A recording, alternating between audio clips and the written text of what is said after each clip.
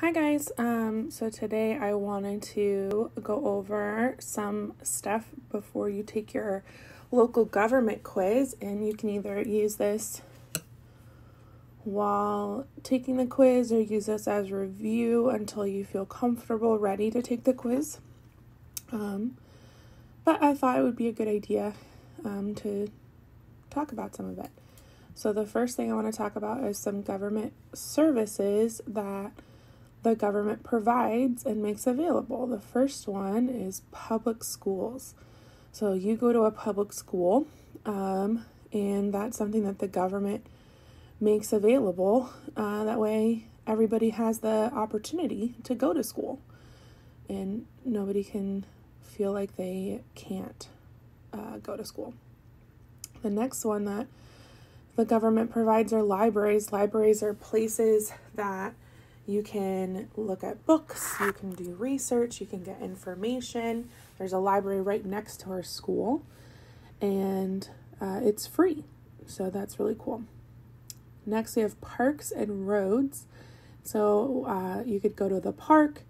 Um, maybe there's a playground and swings. Maybe it's just some grass and you can relax. But that's something. And then roads, the roads that we drive on that our cars go on, those are maintained and kept safe by the government. So that's why you see construction a lot of the time on the roads because they're continuously fixing them all the time. Next, we have the fire department. The fire department helps keeps us safe in emergencies. So, like if there was a fire or sometimes um, a medical emergency, they might come first before the ambulance. Um, sometimes you might have seen them at school when we've had uh, some emergencies at school. The police department. We have a police officer who works at our school to keep us safe, but there are police um, all throughout the country and all throughout our community to help keep us safe as well. I'm going to skip mayor duties real quick and come down here. These are some bigger pictures, so you might be able to see them easier. We talked about the public schools, and that um, that's a school you go to libraries. There's one right next to our house, or our house, next to our school, and they help keep uh, or help provide books for people. Um, the roads, so they, that's why there's construction on the roads. Parks, this is a nice little park, uh, and so they provide that for us. The police department, um, they keep us safe and then the fire department. So if there is a fire, that's who we would call.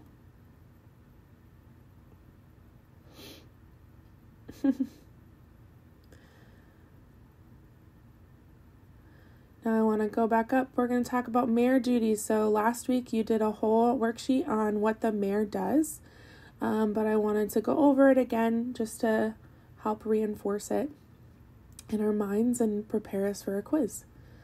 So, something the mayor does is enforce the laws and signs new laws. So, and they enforce the laws and sign new laws. So, those are uh, rules, and then they sign new rules that the city wants to make. So, that's what they do. They also oversee a city's main departments, including the police, fire, education, housing, and transportation.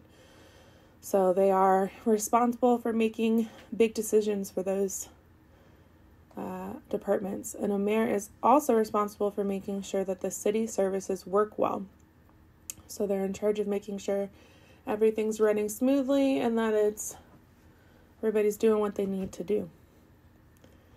They also decide how to spend money on local programs such as construction projects, parks, roads, and more.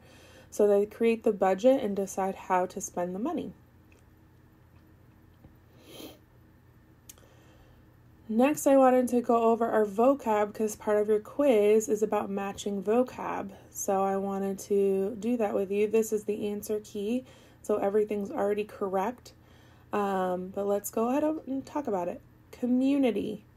community is a place where people live and work together. So that can be a couple different things. Like um, our school could be like a community. Um, some of you live in Lake Mary, some of you live in Sanford. Both of those are communities. So you're a part of a community. Yeah. Next, we have citizen. So, citizen is a person who lives in a community. So, you are a citizen because you are a part of a community. Um, your family are citizens because they live in a community. We have the government, a group of citizens who make the laws. So the government would be our leaders in our towns, like our mayor um, and other people who make up our government, and they're the ones who make the laws or rules for our city. Then we have the mayor, a leader of a city or town. So just like we have the President of the United States who is in charge of our country, and we have the governor who is in charge of our state, we also have a mayor who is in charge of our city.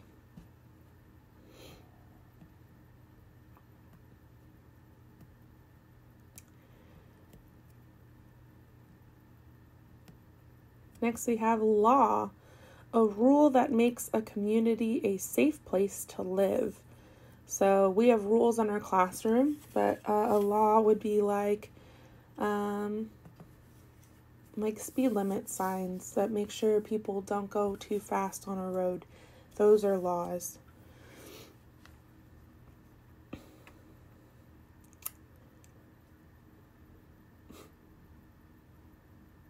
Really made sure we'd have time.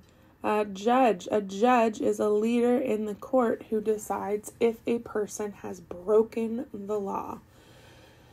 So, um, if you get caught speeding and you get a ticket, then you might have to go see a judge and see if he thinks that you broke the law or did something wrong.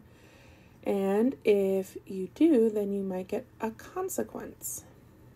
A consequence is something that happens because of something a person does. So we can have good consequences and bad consequences.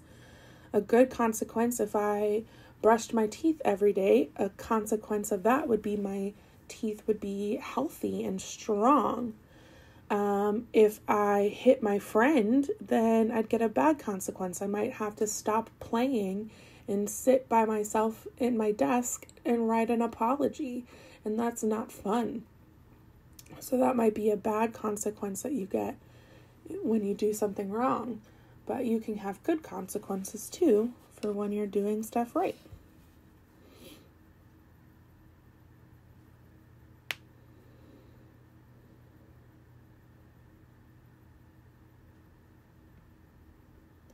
I also wanted to show you what your quiz looks like and how to go about doing it.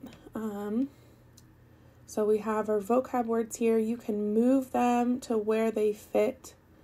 Um, I'm not looking at what the those are. I'm not giving you answers there. That doesn't mean that's where they go. But read the the answers like what we went over and then match the word to the right sentence here. Next, it says list and draw the services that local government provides. You don't need to do that. I put the pictures there for you so you can go ahead and just drag and drop which services the government provides. Um, now, some of these are ones we went over, but there is one that we did not talk about. So that one would not go in one of those four boxes. So there is a wrong answer there. Next, I would says to circle all the responsibilities of a mayor. So we went over all the responsibilities of a mayor, just like you did last week. And what you can do to circle it, you can click on shape, go down to shapes, pick circle, and then you can make a circle around the one you want. Oh, that blocks it. So I want to go up to the little color thing and hit transparent. And now I can see which one you chose. Now, if I wanted, I could go back and do it again for a different one. I want to make a circle that one. So now I can see which one you chose, and now I've made my circles around my answers. I want to go up and write my name. My name is Mrs. Winston. You would write your name. And then if you want, you can also write the date. I'm doing mine on April 20th of 2020. So if you want, you can write the date and then I would finish my quiz and turn it in. You can either email it to me or uh, put it up in eCampus. Either way is fine. That's it.